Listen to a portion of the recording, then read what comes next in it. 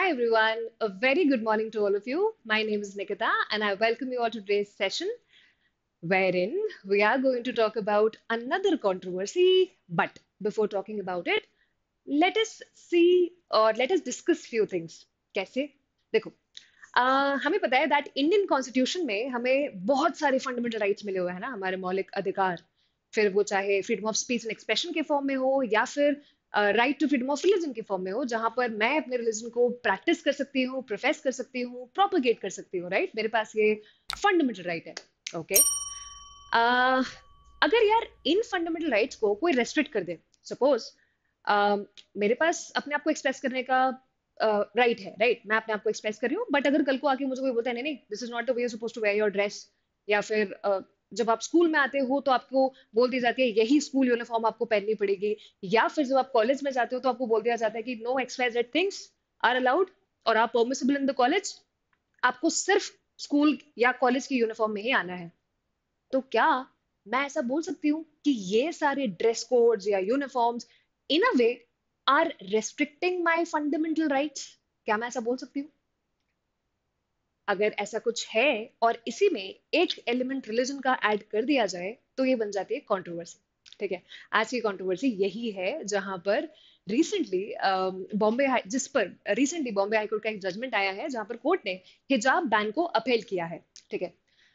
अब यार uh, क्या ये पहली बार देखने को मिल रहा है इंडिया में? नहीं ऐसा तो नहीं है।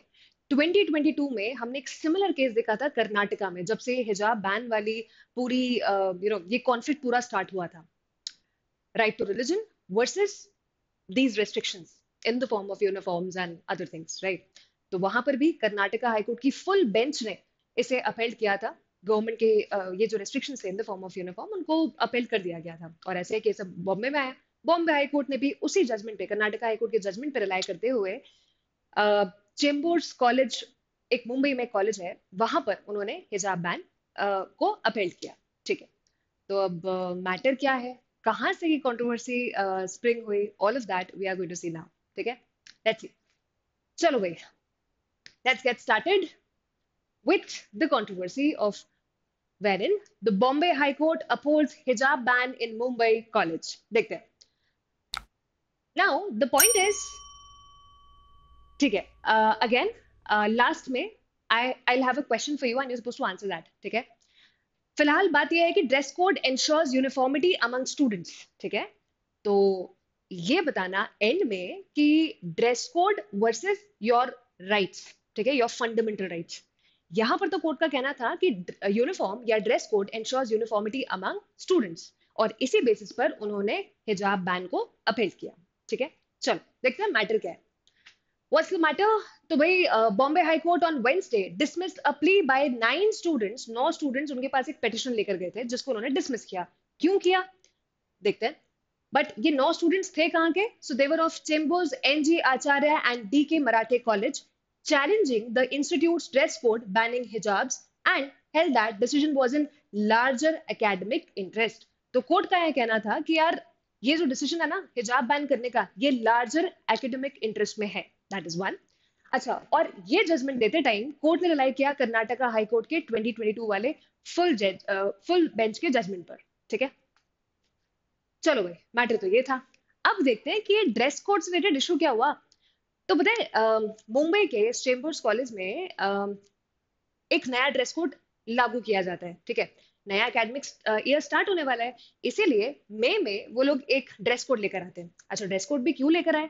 ड्रेस कोड इसलिए लेकर आए ताकि उसको इफ़ेक्ट में लाया जा सके जून से, जब से उनका एकेडमिक सेशन स्टार्ट होने वाला है राइट और लाने की ज़रूरत क्या थी? उन्होंने ऐसा देखा कि लास्ट ईयर कुछ बच्चों को कुछ प्रॉब्लम फेस करनी पड़ी थी, कुछ इश्यूज़ फेस करने पड़े थे क्योंकि they were wearing this these head and other things right तो उनको कॉलेज में एंट्री नहीं मिल रही थी। तो कॉलेज एडमिनिस्ट्रेशन ने सोचा कि क्यों ना इन सबके लिए एक यूनिफॉर्म एक यूनिफॉर्म ही बोल दी जाए, या इससे प्रिस्क्राइब कर दी जाए। बस इसी को ध्यान में रखते हुए they came with new dress code अब ड्रेस कोड में क्या था? देख लेते हैं। उसमें ऐसा था the new dress code clearly stated it clearly stated that burqas niqabs hijabs और एनी रिलीजियस आइडेंटिफायर्स ऐसे कोई भी रिलीजियस आइडेंटिफायर्स जैसे कि बैचेस कैप्स और stoles will not be permitted inside the college college के अंदर इस टाइप के कोई भी रिलीजियस आइडेंटिफायर्स अलाउड नहीं होंगे। ये चीज़ कोर्ट ने वहाँ पे बोला, ठीक है? और फिर ड्रेस क्या प्रिस्क्राइब करी गई? The dress code prescribe half and full pant shirts and trousers for boys and any Indian और western non revealing dress for girls तो भाई, ये एक यूनिफॉर्म है, आप आराम से पहनो। बाकी ये इज़ नॉट अलाउड ठीक है? अब यार ऐसी कोई वुमेन स्टूडेंट्स जो कि जो निका जो निकाब या हिजाब टाइप की uh, कुछ रिलीजियस आइडेंटिफायर्स पहनते थे उन्हें ये बात बिल्कुल पसंद नहीं आई। जब उन्हें पसंद नहीं आया तो वो डायरेक्टली बॉम्बे हाई कोर्ट में उन्होंने एक पिटिशन फ़ाइल कर दी उन्होंने वहाँ पे अप्रोच किया। ठीक है? अब पेटिशनर्स का क्या साइड है या इन स्टूडेंट्स का क्या साइड है वो भी देख लेते हैं। उनका क्या कहना है? तो भाई ये जो नाइन स्टूडेंट्स थे nine students approach the Bombay high court क्या बोलते हुए ये लोग बॉम्बे हाईकोर्ट गए? उनका कहना था कि ये जो इंस्टीट्यूशन ने ड्रेस कोड जो इंस्टीट्यूशन ड्रेस कोड लेकर आया है, वो प्राइमा फेसी आर्बिट्री है डिस्क्रिमिनेटरी है और उनके पास ये पावर ही नहीं है ऐसा कुछ करने का, क्योंकि इससे हमारे फंडामेंटल राइट्स वायलेट हो रहे हैं।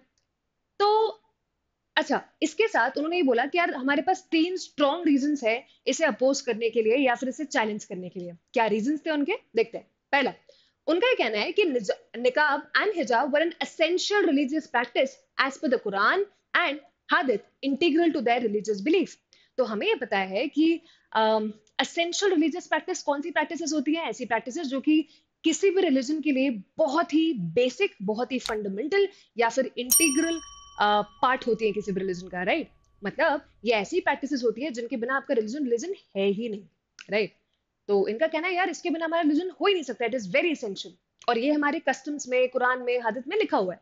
ठीक है? एक रीजन तो इनका ये था।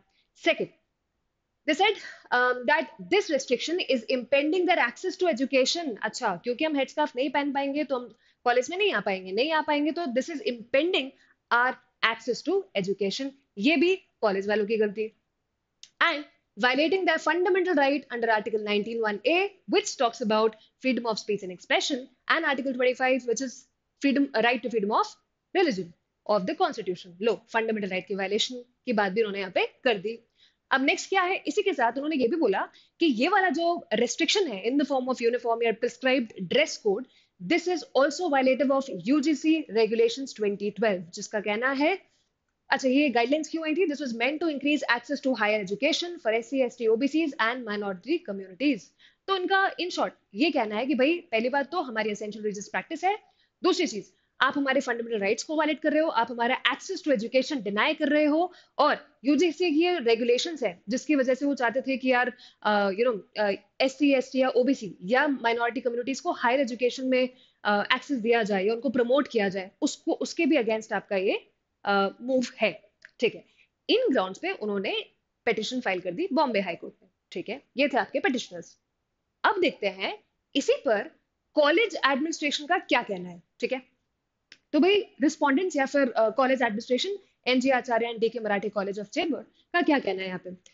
देखो यार, हमें ये पता है, हमने स्कूल में भी ये बहुत बार सुना है ना कि जब भी इस टाइप का कोई भी मूव एडमिनिस्ट्रेशन लेता है तो वो क्यों लेता है? भाई, उन्हें कोई प्रॉब्लम नहीं है, लोग अलग अलग ड्रेसेस में आए वहाँ पे देर नो शूज़ बट उनका कहना होता है कि हम स्कूल में डिसिप्लिन इंश्योर करना चाहते हैं, हम बच्चों के लार्जर अकेडमिक इंटरेस्ट के बारे में देख, के बारे में सोचकर इस टाइप की कोई रेस्ट्रिक्शन या मूव लेकर आते हैं. और वही चीज़ यहाँ पर भी थी. तो उन्होंने बोला the dress code was applicable to all the students across religious and community lines तो ऐसा नहीं है कि हम किसी के साथ डिस्क्रिमिनेशन कर रहे हैं राइट right? ये तो हम सारे स्टूडेंट्स के लिए लेकर आए, लेकर आ रहे हैं. That is one thing then second उन्होंने बोला कि 2022 जजमेंट पे उन्होंने कर्नाटक हाईकोर्ट के जजमेंट को अपने फेवर में कोट करते हुए ये भी बोला कि यहाँ पे उन्होंने क्लियर कर दिया था, कर्नाटक हाईकोर्ट ने एकदम क्लियर कर दिया था दैट डोनिंग द हिजाब और niqab was not an essential religious practice for women professing Islam ये उनकी एसेंशियल रिलीजियस प्रैक्टिस नहीं है, ठीक है? ये तो कर्नाटक हाईकोर्ट ऑलरेडी बोल चुके हैं, फिर क्या प्रॉब्लम है? ये चीज़। And third this was an internal matter तो भाई इंटरनल मैटर है। अगर हम चीज़ों को रेगुलेट करना चाहते हैं तो हमारे पास पूरा पावर है ये करने का और हम ये कर सकते हैं। ये वाली चीज़ भी उन्होंने यहाँ पे क्लियर कर दी which is fair of course ना जब ये आर्ग्यूमेंट्स कोर्ट के सामने चल रहे थे कोर्ट ने सारे मैटर को सुना देखा एविडेंसेस देखे तब बॉम्बे हाईकोर्ट ने अपना डिसीज़न दिया। बॉम्बे हाईकोर्ट का डिसीज़न क्या है यहाँ पर? Let's see so basically the decision uh, was pronounced by a division bench of justice uh, justices atul and Rajesh S Patil एक डिवीज़न बेंच थी।